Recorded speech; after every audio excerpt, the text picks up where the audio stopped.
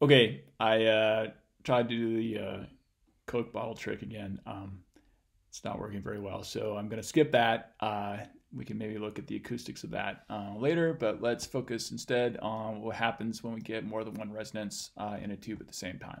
So will the frequency of the second resonance be higher or lower than the first?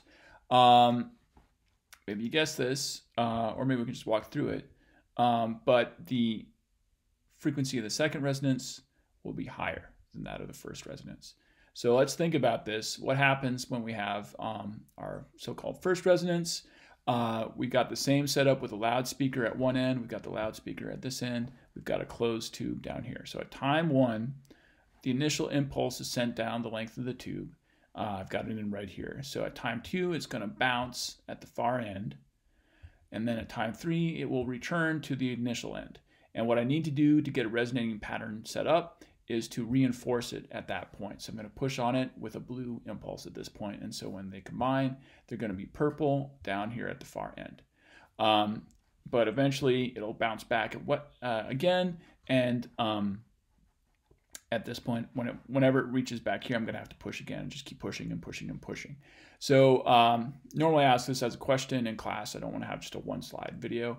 Uh, so I'm just going to give you the answer here. But the period of this creature is the length of time in between pushes. It's the length of time in between impulses that get emitted from this loudspeaker end. So this is time one, this is time two, this is time three, this is time four. The period is the length of time in between cycles. It's the length of time in between the initiation or the pushes that reinforce that resonating pattern. So my period here is this time minus that time, time three minus time one. And you can stop and think about it for a second.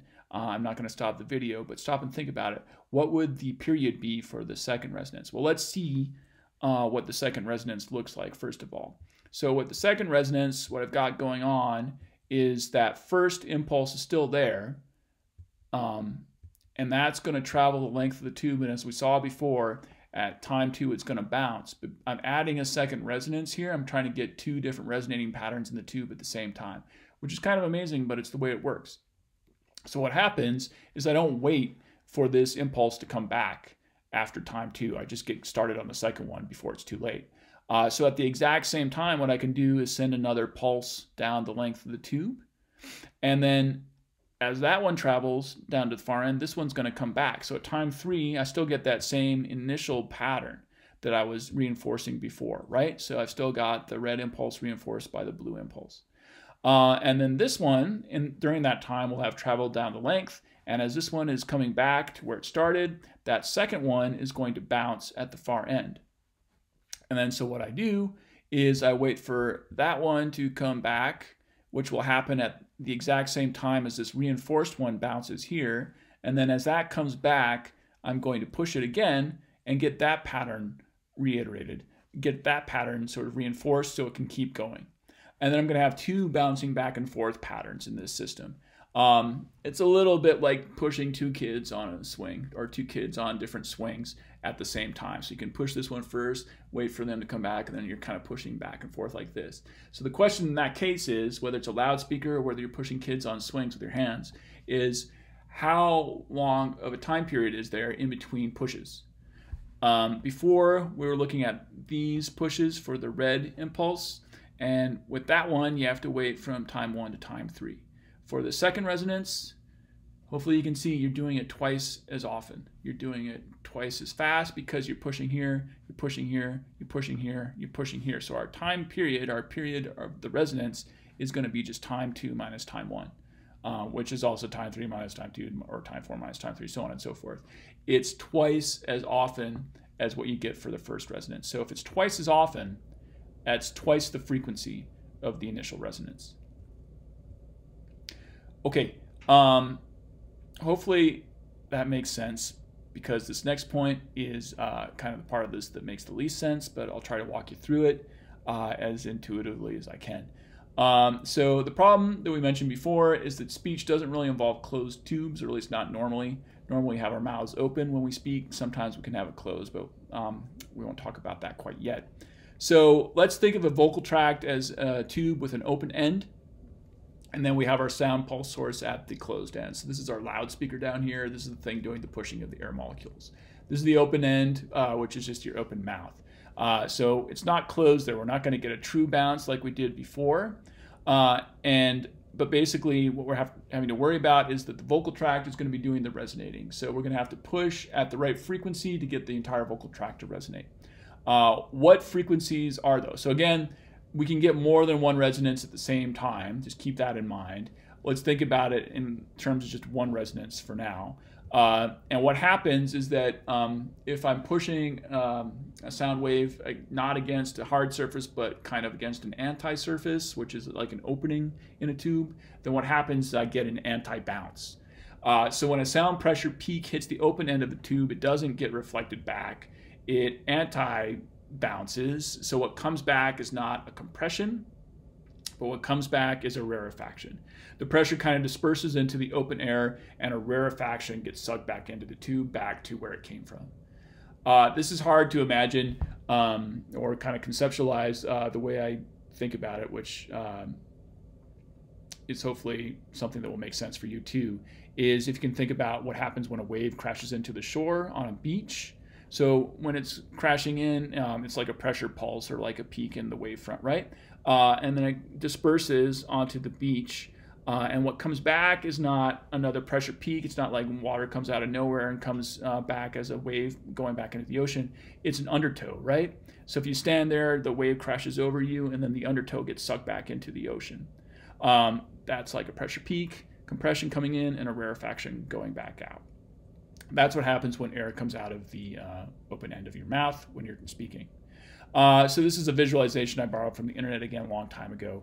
Um, but what this also kind of tries to show you is the timing of how this works. So we have to push at our loudspeaker end here, at our uh, vocal fold end, and that pressure peak travels down the length of the tube until it gets to the open end.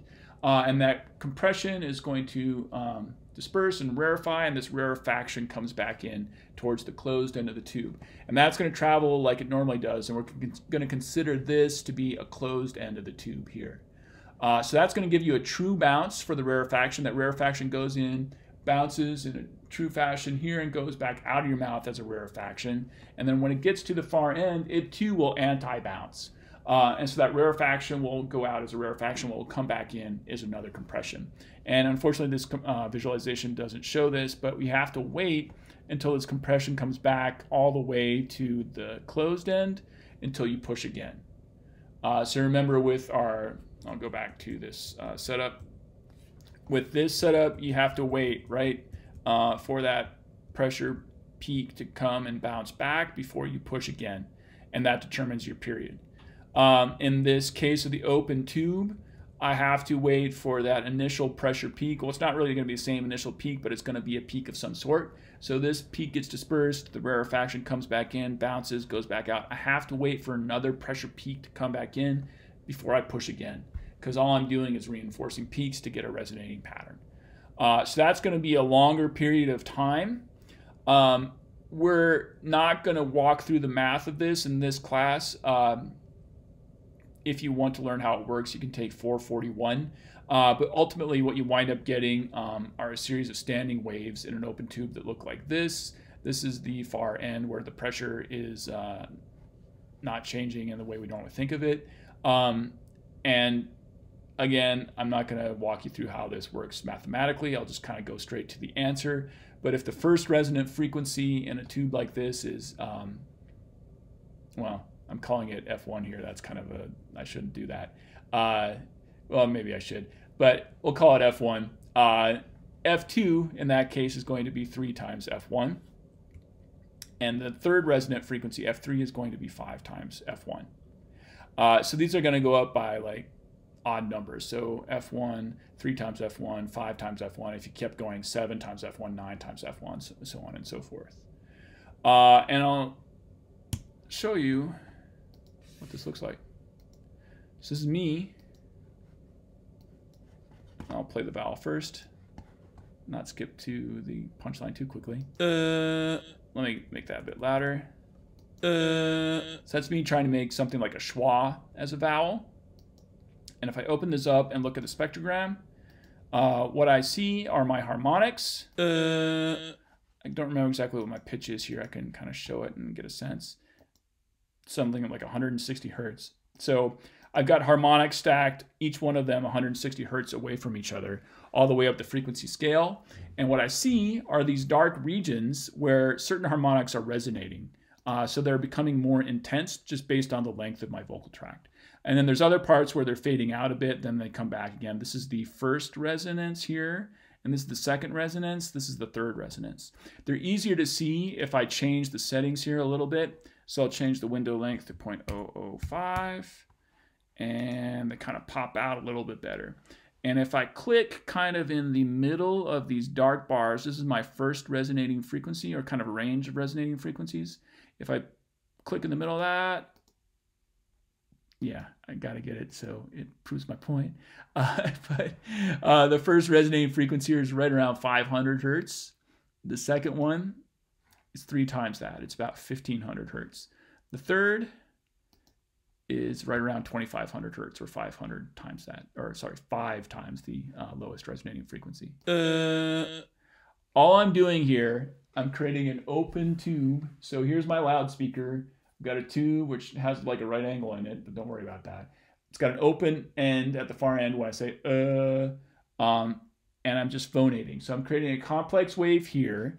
That complex wave has um, a lot of harmonics in it. We can see them going all the way up the scale. That's why it's complex and not a sine wave.